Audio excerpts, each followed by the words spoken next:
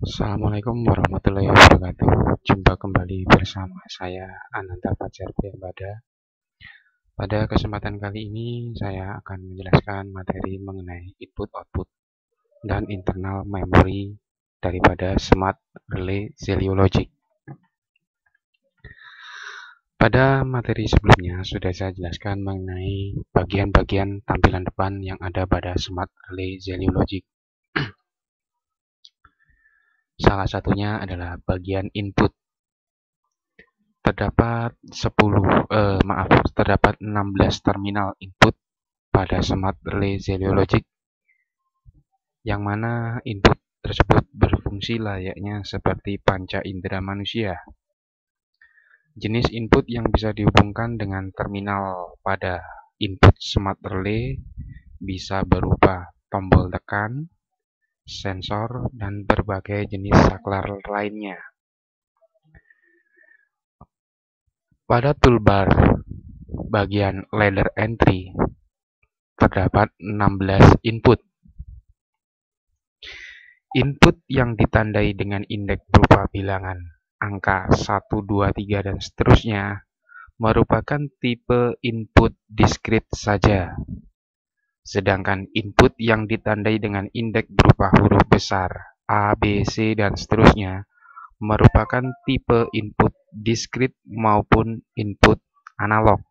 Jadi maksudnya input yang dengan indeks berupa huruf itu bisa digunakan untuk input discrete maupun input secara analog.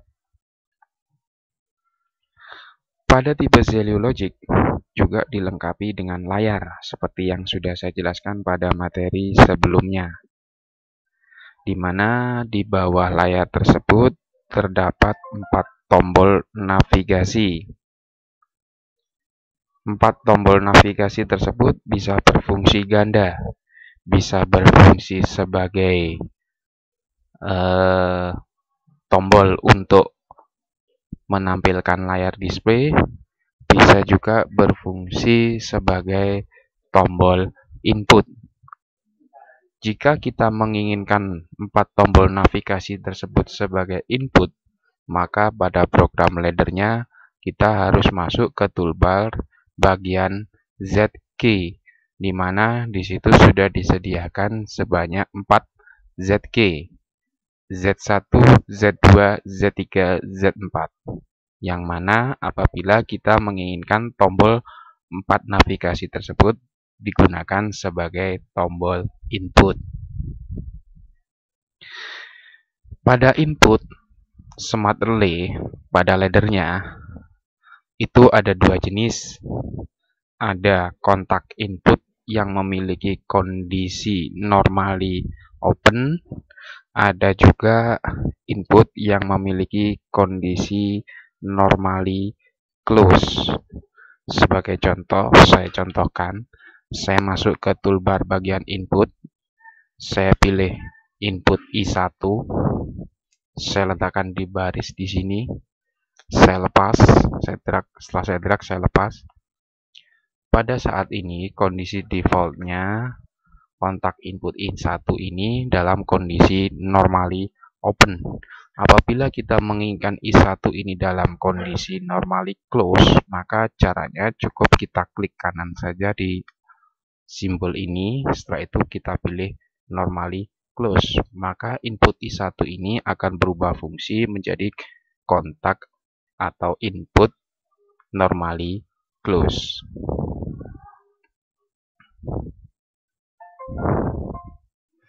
Selanjutnya mengenai output.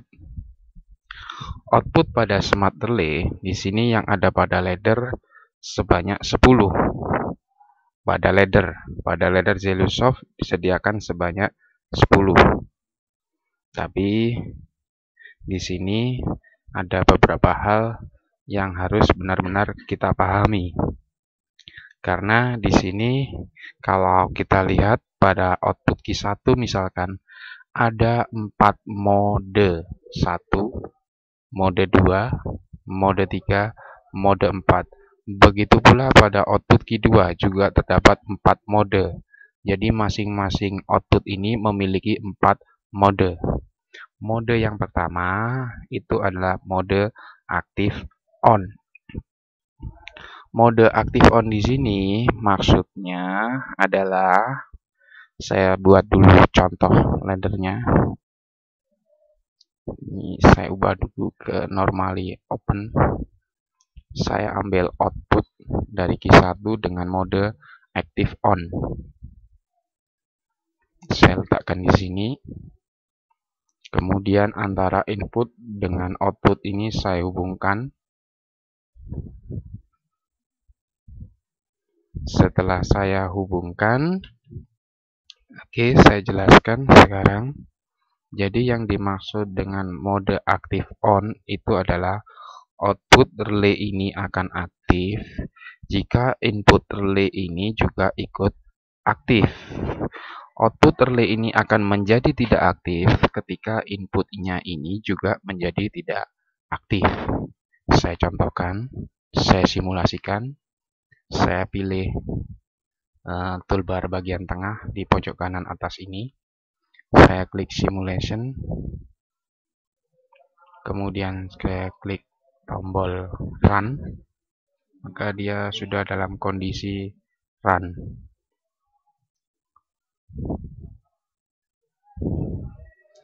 Coba uh, tampilan discrete outputnya dengan cara mengklik icon ini tadi sehingga muncul tampilan seperti ini. Ketika tombol input I1 ini saya tekan, maka output Q1 ini akan menjadi aktif dengan menandakannya ini. Lampu Q1 ini dalam keadaan menyala. Ketika tombol I1 ini masih tetap saya tekan. Tapi ketika tombol I1 ini saya lepas atau tidak saya tekan, maka output Q1 ini akan menjadi aktif. Saya tekan kembali, aktif lagi. Saya matikan, mati lagi. Inilah yang dimaksud dengan mode aktif on yang mana output relay akan aktif jika input relay juga ikut aktif atau sebaliknya. Mode yang berikutnya adalah mode aktif on dengan dengan maksud impulse relay. Jadi aktif on impulse relay. Impulse relay. Di situ ada kata impulse. Yang dimaksud dengan impulse itu berarti kita memberikan pulse atau clock atau pulse, pulsa pada input itu. Jadi maksudnya langsung saja kita coba praktekkan. Saya stop dulu. Saya kembali ke mode editing. Uh, saya tetap menggunakan output key 1, cuman yang tadi adalah mode active on. Sekarang saya menggunakan mode active on impulse. Saya letakkan di sini. Jadi tandanya beda. Kalau tadi bentuknya seperti searah ya, jadi dari kotak. Oke, saya kembalikan aja untuk semulanya tadi gimana supaya kita tahu. Awalnya bentuknya seperti ini simbolnya. Ini adalah mode untuk active on. Sedangkan kalau untuk mode active on impulse bentuknya seperti ini. Nah, simbolnya seperti ini. Oke, kita coba simulasikan. Kita klik run, tombol run. Ketika ini saya tekan, maka output ini akan aktif. Tandanya discrete outputnya ini lampunya menyala. Tapi ketika ini saya lepas, lampunya masih tetap nyala. Jadi kondisi output ini masih tetap menyala. Beda dengan yang sebelumnya, ketika saya lepas, outputnya ikut mati. Tapi kalau ini tidak. Begitu tombolnya ini tadi saya lepas, dia tetap menyala. Tapi ketika saya tekan untuk yang kedua kalinya, yang terjadi adalah outputnya ini akan mati. Saya lepas, tetap mati. Saya tekan untuk yang ketiga kalinya, apa yang terjadi? Lampunya nyala kembali. Saya lepas, masih tetap nyala. Saya tekan lagi, mati. Saya lepas, tetap mati. Saya tekan lagi, lampunya nyala. Saya lepas, lampunya masih tetap nyala. Jadi yang lepas itu maksudnya tandanya ini berubah menjadi warna biru, berarti tidak ada arus yang mengalir. Tapi ketika ini saya tekan kembali, ini jadi warna merah, maka lampunya ini akan mati. Jadi itulah yang dimaksud dengan active on impulse relay. Mode berikutnya adalah mode latch activation set. Jadi berbeda lagi, langsung saja coba kita uh, simulasikan. Saya clean stop dulu, kemudian saya pilih ke mode editing. saya saya ubah ke dalam bentuk ini latch activation sets. Coba perhatikan uh, bentuk tandanya. Tadinya bentuknya seperti ini. Ketika ini saya ubah ke mode activation latch set. Maka bentuk simbolnya akan berubah menjadi seperti ini. SQ1 SQ1 kita masukkan ke mode simulasi untuk melihat hasilnya apa perbedaannya dengan mode dua mode yang sebelumnya. Kita klik tombol run. Oke kita siap-siap. Kita tekan tombol I1 maka output S ini output Q1 akan menyala saya matikan lampunya masih tetap nyala saya nyalakan lampunya masih tetap nyala saya matikan, lampunya tetap nyala. Saya nyalakan kembali, lampu tetap nyala. Jadi lampu ini tidak akan pernah mati meskipun ini saya tekan berulang-ulang kali. Jadi yang dimaksud dengan mode latch activation set itu adalah output akan aktif jika input juga aktif. Namun tidak akan mati sebelum reset diberikan. Jadi untuk mematikan ini kita harus menggunakan mode lat deactivation yaitu reset. Langsung saja kita coba kita simulasikan kita stop terlebih dahulu untuk masuk ke mode editing. Oke, kita masuk ke mode editing jadi untuk output Q1 ini kita harus membutuhkan dua input kalau kita menggunakan mode LED activation set. Karena untuk mematikannya ini kita harus menggunakan input yang kedua yang terhubung dengan uh, LED deactivation-nya. Contoh aja langsung. Jadi saya pilih yang input yang kedua saya pilih uh, untuk yang output kedua tapi saya pilih yang mode reset. Oh, maaf uh, tetap output yang ke satu tapi yang mode reset.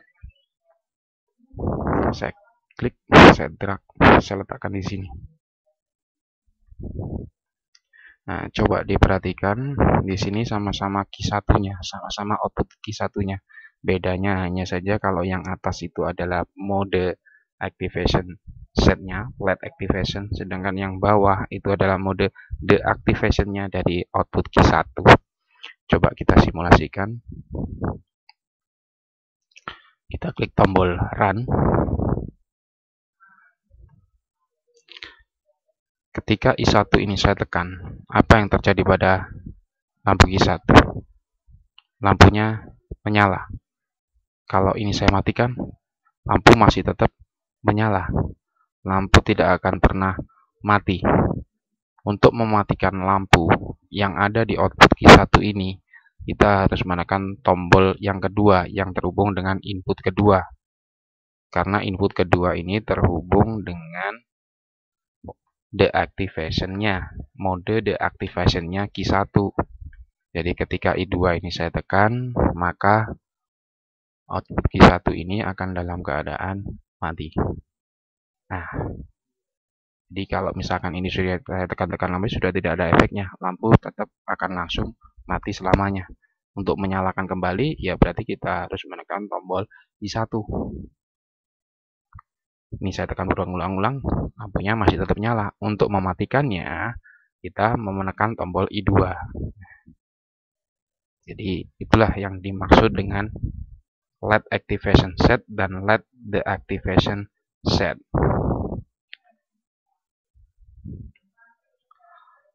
Nah, mungkin dari sini bisa saya akhiri mengenai materi saya kali ini mengenai input output untuk materi selanjutnya mengenai internal memory akan saya bahas di uh, materi selanjutnya.